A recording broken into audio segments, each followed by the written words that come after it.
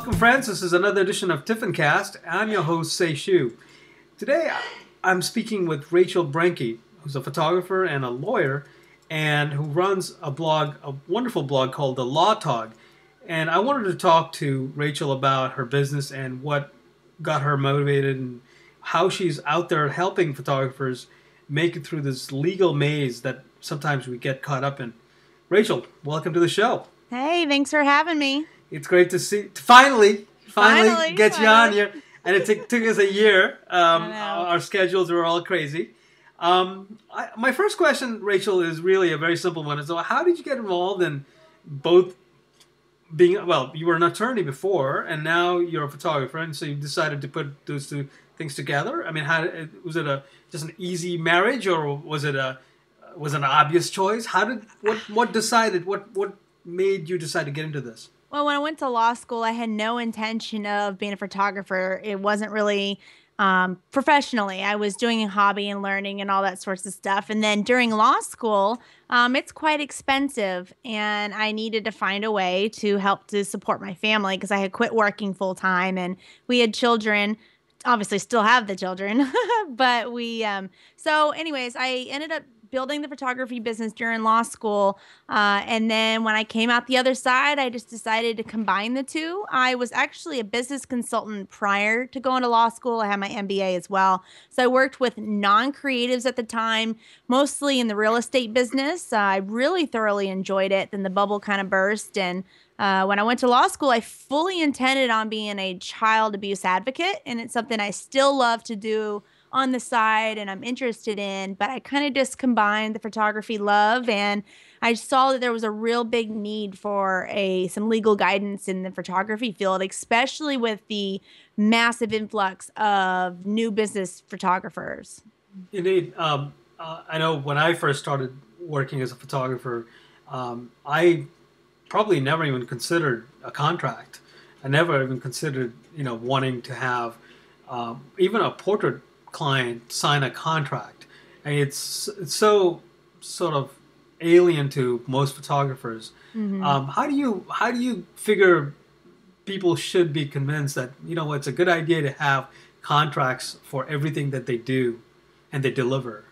Well, you know, I, I I'm the first person to admit that legal stuff and contracts aren't sexy. You know, the marketing and the learning of the camera is so much more fun. I get that, and I'm a lawyer, you know, and I say that. It just I don't know if there is convincing other than putting the word out there, and that's my entire goal with the Law Tog is to l- let people know that these potential situations lurk out there. That this isn't a fly by the seat of your pants thing to run a business. It's for real. And my goal is to keep people from doing and getting in trouble with um, the uh, government and fines and fees and getting potentially shut down or sued because then it's too late at that point. So as long as I can raise the awareness as much as possible, uh, I think that that's the that's the most convincing I think you can do um, for business owners. Do you do you uh, use uh, case studies where uh, photographers have either had to deal with uh, clients uh, in the past or uh, are currently working with through some legal issues with clients at all, or, or is that is that a is that a possibility at all that you you you share those stories with us, or do you feel like that's a little too too heavy No, not necessarily. It's funny you say that because I've actually been working. It's one of the projects I've been working on is because my inbox is basically like 500 case studies a day. I mean, there's so many different things that come through my in uh, my inbox that I want to share. A lot of my blog posts and webinars and stuff arise out of the most popular questions I get. But I do end up bringing out those little specific things because when it comes to law, and you can see this in forums, people will ask a question and you'll get the same stock answers and for me, and that's actually one of the reasons that I really started the Law Tog was because I was seeing these wrong responses from other business owners. Because from the legal side, one factor can change an entire situation. So, yeah, I've been looking at putting case studies out there. When I teach, I'll give examples that are as similar as possible. You know, I mean, all teaching styles pretty much take real world experiences, and legal is one of those that you really need to have it. Um, all my research is founded on, I start with experience and then I branch out to uh, to case law and stuff that's already out there. Do you find things have changed since you've left law school? Things have changed a, quite a bit for photographers, or do you feel like things are somewhat the same? And you know, we're we're all actually pretty much SOL because we are not really following any of the uh, the rules that we're supposed to be following. I don't know if it's changed or if my eyes are just being opened more. So I don't know what the answer to that is. It just because everybody comes to me now and I see the issues that people don't necessarily post in forums? Because my inbox is essentially like, whew, of all these people having issues, or you know, we've got some who want to prevent the issues. So I kind of have a good mixture of both. So is it that we're having more issues? Potentially uh, but for me i think it's also just because i'm exposed to it a lot more. I do think that because of the influx of newer photographers and because the lot the contracts and stuff aren't as sexy and that most people don't know where to go they kind of just push that under the rug. Um, and i think that is becoming more and more common uh, and it just it's it's kind it's sad. It makes me hurt. I literally hurt when I think about because I know what it's like, obviously, to start up my own business and to think that that person's business could be gone like that. Um, you know. All right, all right. Um, here's a question for for you as a photographer. Um, let's say I, I do have a, a set of legal forms that I want to have my clients sign, and you know we've just established a relationship We've just said, hey, listen, we're going to have a great time at your, let's say it's a family portrait session, and I'm going to come over to your house and photograph you guys, and it's going to be a lot of fun. But by the way, I need you to sign these legal documents. Mm-hmm. Um, do you feel like there might be there might be some sort of a pushback from the clients when legal documents are, are introduced into the conversation? I think it kind of depends on the timeline and your approach. Um, you know, many people know my personality. I'm very strong, very type A. I eh, would tell everything. I'm very upfront. But when it comes to contracts and money, it's really hard for me to look clients in the face. So I like to front load all that information as much as possible. So it's not like, surprise, here you go. Here's the contract. And here's the methods in order to be able to book me. Uh, one of the very first things that when they ask for pricing or information, they're not just getting that, they're also being educated on what's going to happen next. I mean, that's just a customer service thing. That's just educating clients, but it's also allowing me to squeeze in that contracts without it being like, here's this legal form um, so it, you know, and I think it also having photography contracts, especially when you rise up in the dollar value and the dollar amount that you place on your collections and your services, it lends a lot more professionalism, especially working in weddings and commercial type work, because then your clients feel a lot more confidence with you. They see that you're professional. I mean, there's a whole bunch of things that can add to that, but contracts end up being one of the frontline things that someone can look at and see if you're truly a professional or um, or not. That's a great point. I, would never considered that, uh, honestly. Um, when it comes to those contracts, uh, and let's say they, they do have uh, some concerns um, about the signing of the contracts or even the language of the contracts, what would be one quick way to encourage them and, and sort of uh, diffuse any sort of ill will from them uh, at all. I mean, is there a way that you you would approach a client and say, "Listen, this is this is for your benefit and mine mm-hmm. as well. I mean, is there a mm-hmm. way that you couch those words in, in a certain well, it, way? It kind of depends on what they're having a pushback on. If it's the contract in general, and I say it just like how we're talking, I talk to my clients just like this. I say, here's the contract. This is needed in order to secure me for services. This is to protect both of us because it's going to have privacy things for you. It's going to have things for my business and policies outlined, and so that we're on the same page, literally, and that we're able to move forward without any issues issues. I've I've personally never had an issue with clients um, giving me pushback on a contract, and that's not because I'm a lawyer. Many don't know on my photography side don't know that I'm a lawyer until you know we discuss and we talk about it later. When it gets into specific provisions, one of the big ones that comes through my inbox is ownership of files mm-hmm. and of mm-hmm. who owns and really all it boils down to whether it's that provision or any other is client education it's the photographer knowing what's in their actual contract not just blindly having one mm-hmm. and being unable to explain it because if you understand it A, you're going to be better protected, but you're also going to be able to explain it in a way that is beneficial for both parties. For example, with the copyright issue, many times clients really don't want to own the photos, but they don't know what else to call it. Right. Um, and like I said, just how I'm talking to you is how I talk to my clients. And I, if they have a question about that, I will say to them, you know, the copyright provision basically just states that I own the photographs. However, you know, with your collections, you're purchasing a print release. You're getting an unlimited license to print for yourself. If you want to print a big your face on a sweatshirt for Aunt Judy in Seattle, go for it. You can do, you can print with all these guidelines right here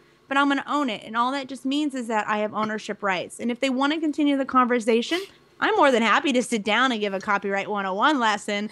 By then, most of the time, they just realize, okay, I'm getting the printing, and that's all they want. They don't right. really want ownership per se. Right.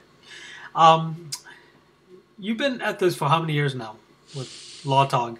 Mm, the LawTog itself was just rebranded within the last two years. I've been doing consulting since 2005 or six do you find um, in your experience and in, in your time in the business are there any common issues that keep coming up um, time and time again when it comes uh, to when it comes to photography? Um, as far as client pushback or just in general? In general in general. Is there any sort of th- anything that's out there that just just won't go away? Um, a lot of it. One of the most common ones recently is people not taking retainers um, to secure services and then they're missing out on clients. Clients aren't taking them seriously. I mean, I think there's a whole host of factors that play into that.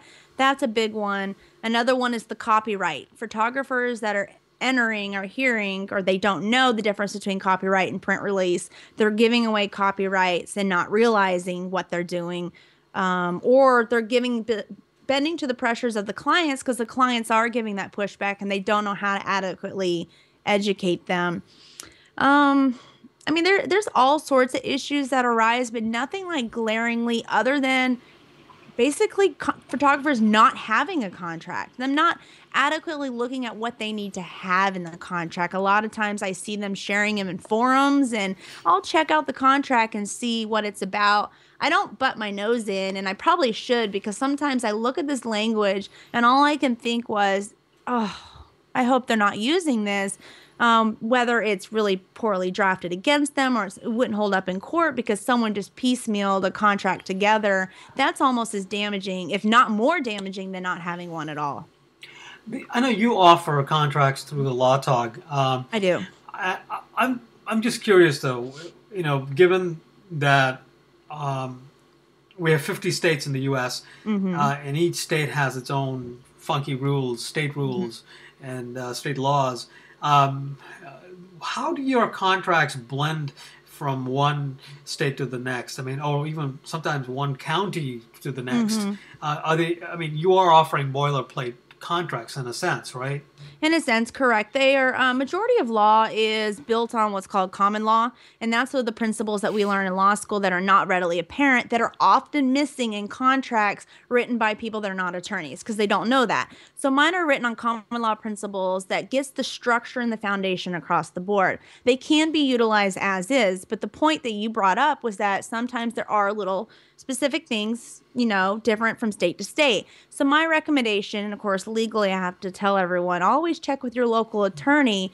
And then the question I always get is, well, why would I buy your contracts if I'm going to go to an attorney anyways? I'll tell you a couple of reasons. Um, one is that you can reduce your attorney drafting fee um, because you're going to have to have a consultation time, drafting fee, revision time, and delivery of product.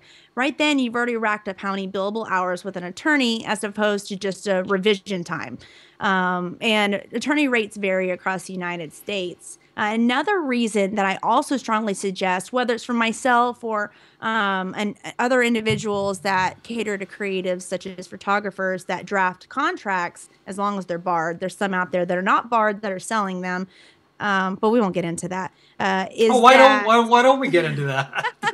we, yeah, we, we can get on this. Let me let me finish this point though. Sure, I'm sure. glad to talk about that. Sure. Um, no, but another uh, reason to also get a contract from an individual that has done the photography side is that they have a perspective that normal attorneys won't necessarily have. I have an individual that works with me. He's an attorney. We graduated law school together. He was valedictorian. He is fantastic at business transactional work. So he's the person that my contracts go through a multi-level review, you know, just to make sure that I have an objective eye, yada yada. And so mm, I don't know how many times he'll come back to me and go, you know, if a photographer had walked in today, I would have never known to put X, Y, and Z in there because he's never run a photography business. So it's kind of the best of both worlds. And so even if you purchase my contracts and to go take them to be revised, you're bringing a plethora of information to an attorney that may not necessarily have the photography knowledge, but they have the business transactional, and it kind of helps them to meet together. Excellent.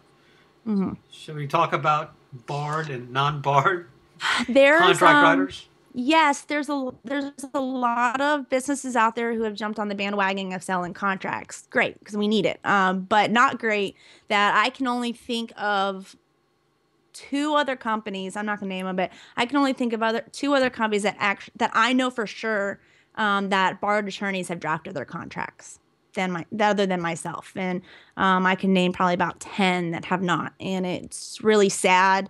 Um, it hurts. Um, it hurts my little baby heart because I I just know that people think they're protected, and then what if something happens? Um, Explain to me though. I, I maybe I, I don't know the, the nuances between barred and non-barred. Mhm. Obviously, barred means you went through law school, right? Mhm. Uh, and you, you you passed the bar exam. Uh, I'm assuming, right?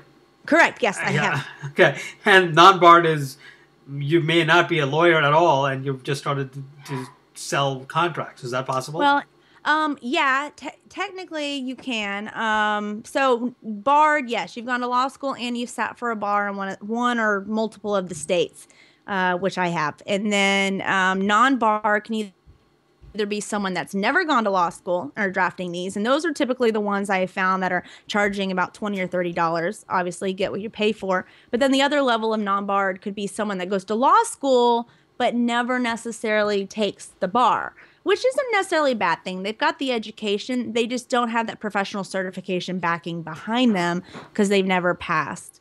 gotcha. Um, but you know, and I'm I'm glad you brought up that point because though sometimes I'm finding that people are selling contracts that were drafted by barred attorneys, right. but they they're not supposed to be selling them. They're actually work product of that attorney. uh-huh. And so for me, it's kind of the same as the clients buying a digital file from me and turning around and selling it to someone else. That's not their work to sell. Gotcha. Right. Well, this has all been very, very, very educational. Thank you so much. You're welcome. Um, I'm, I'm so glad we waited an, a whole year to do this I uh, because I think uh, I've asked all the questions that I've had in my mind for all this time. Um, Rachel, thank you so much for joining us. You're welcome. I uh, look forward to uh, continuing to work with you and Law Tog in the future. Fantastic. Thank you so much. Take care. Good night. Night.